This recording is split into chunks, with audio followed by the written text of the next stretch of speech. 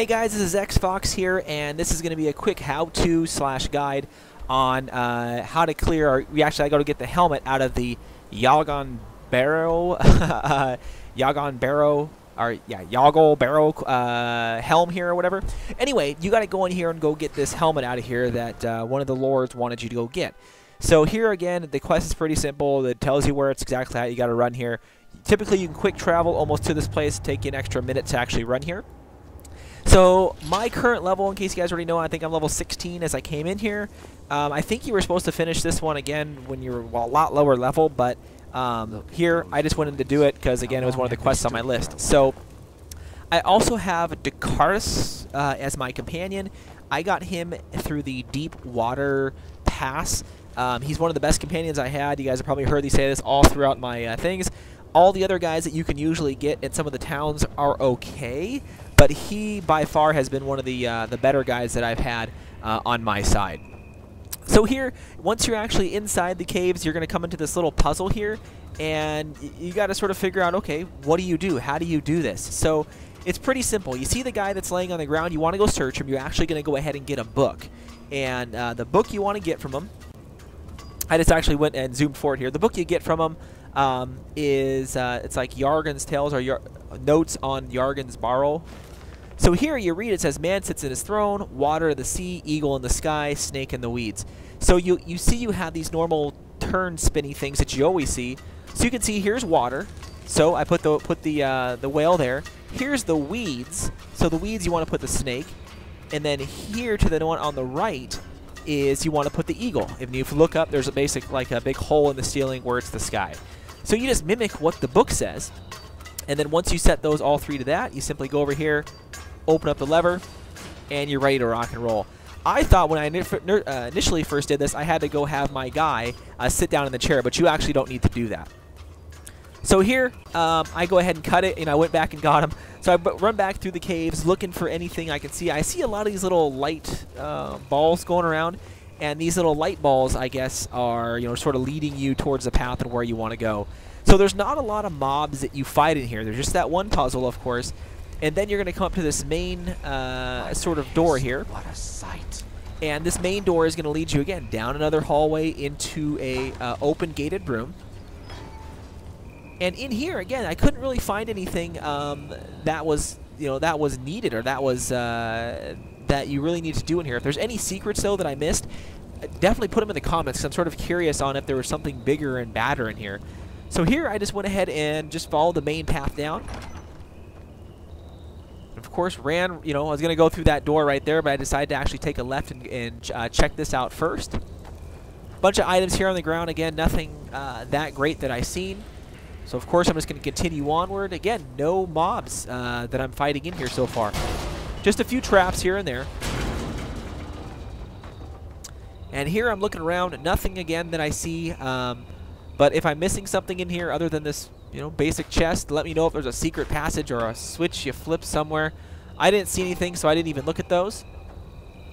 And of course, you come to sort of this main, uh, which you've seen before, these this main claw where you got to stick in the door.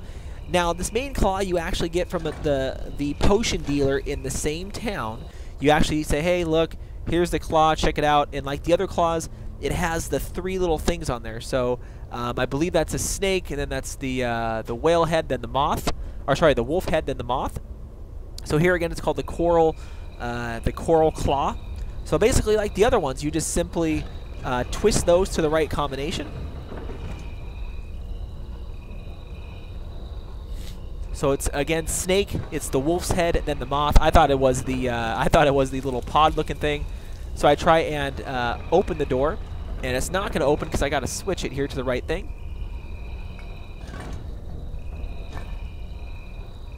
So again, I switch that one to the wolf's head.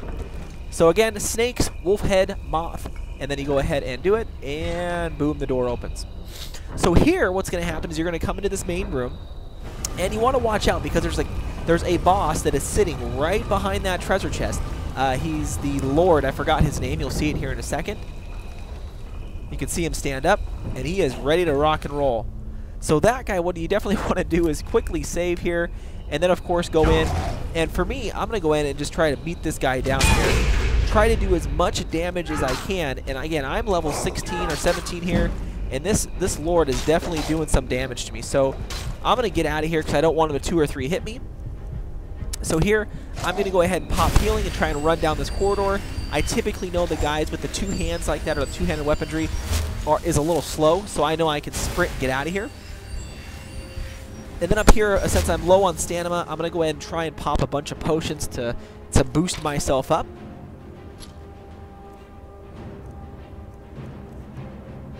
So here I'm just going to take a quick look and say, okay, you know what? Let's just try and get all the magic potions and stuff like that, boost them on up just in case here.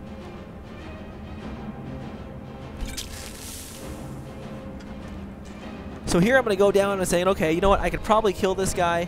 Let's just go in for a devastating, hit, hit devastating blow. So I'm going to hit him here.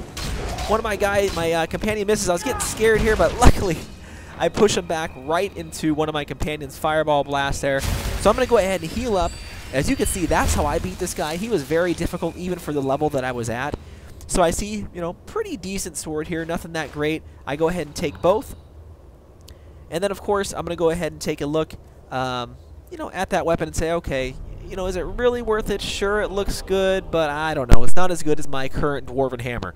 So uh, here, I'm going to say forget it, and I'm going to go check the, uh, I'm really going to go check the rest of the, uh, of the items that are inside the cave here. So, again, I just looked at both. I was thinking, okay, well, you know, I, I probably could use that one. It's better than my Dwarven Hammer. Let's just keep my Dwarven Hammer uh, for now. So I know I should have skipped some of this. I was looking for something to drop here.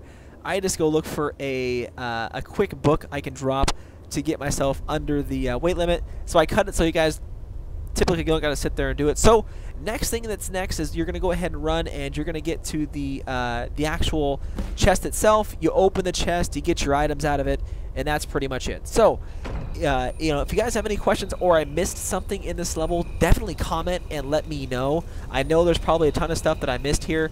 I didn't know how to open that back door back there, so if there's some hidden switch or something, definitely post it in the comments and I'll come back and try it. Uh, so go ahead and subscribe and give us a thumbs up. And definitely check out all the other Skyrim tutorials and videos and stuff that we have on our channel. We got a ton of them.